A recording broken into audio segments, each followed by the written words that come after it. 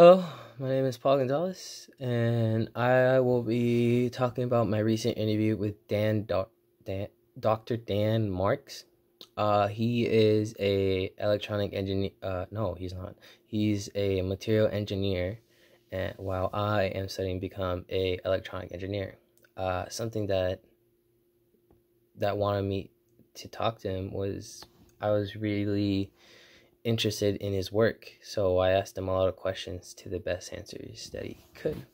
Anyways, the first question I asked was, uh, "What would be better, uh, University California or a University of State California?" And he said the following: First, you would have to look up what the university or college is asking or is studying and see what they're studying, what the professor is studying that is in charge of that research, and see what classes he's taking. So you may benefit from that research or just whatever uh, studying you want to be as an engineer.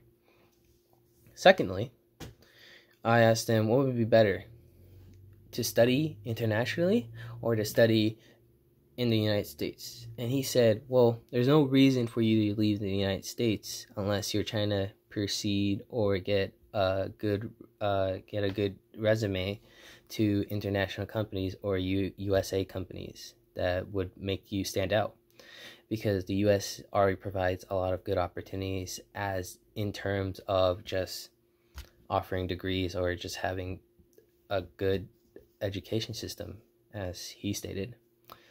Um, thirdly, I asked, who benefits from from manufacturing here in the United States? And what he said that, or well, who benefits? Do you uh, the CEOs or the engineers? And what he said was that both people have and uh, pro, um, benefit from that because they help stimulate the economy. He went off a tangent that even though it's the U.S., he doesn't agree with the U.S. government what they're doing because the the United States is creating first generation uh, devices here in the United States, and they ship it or sell it off to uh, other countries like Europe or or continents like Europe or Asia, and just and just seek the profit motive, and it's really sad because he wants to see old manufacturing uh factories do better and up help the working class do or just have more job opportunities in those industries. So it's kind of kind of sad to see. And then lastly, or yeah, lastly, uh, I asked him, what is he got a really good laugh out of it. What is um harder, studying as an engineer or be, being an engineer?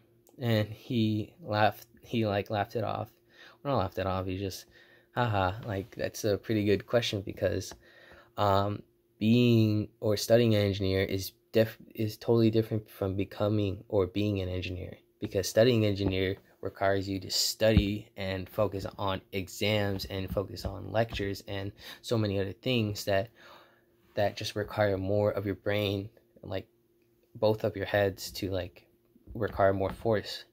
But as for a, but as being an engineer is very difficult and very pressure and very under the pressure of the job is that because of that there are situations where you may be fired because you didn't complete a task specifically as an engineer or you just failed to uh, to to fail you fail to set or seek the company's requirements so it's very different from studying engineer. So let's just keep at it.